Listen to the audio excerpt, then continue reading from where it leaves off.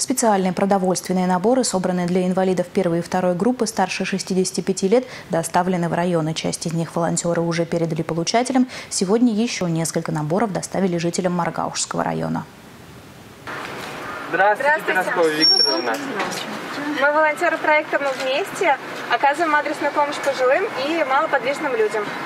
Просковье Викторовне 82 года. Из них 42 года она проработала операционной сестрой Маргаушской районной больнице. Она не понаслышке знает, насколько трудно приходится врачам в период эпидемии. Живет одна, но строго соблюдает самоизоляцию. Дальше ворот никуда не выходит, даже в магазин. Появившихся на своем пороге молодых ребят приветствует с искренней улыбкой. Я очень довольна, очень живет этой подарок, потому что через дорогу я не могу идти в магазин, не разрешают.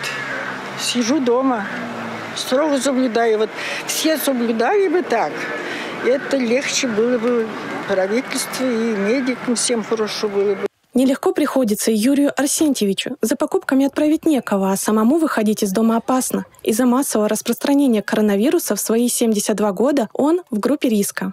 Трудно находиться постоянно дома, ни в магазин не сходить, потому что один живу.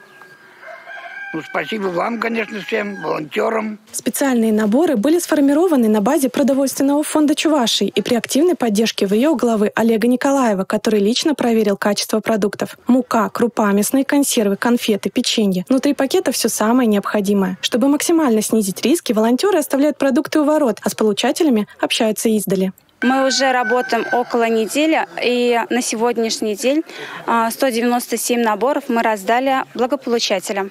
Всего в Маргаушском районе запланировано раздать 496 продовольственных наборов. Средства на их создание были выделены по линии Общероссийского народного фронта. Валерия Дружинец, Юрий Марков, Республика.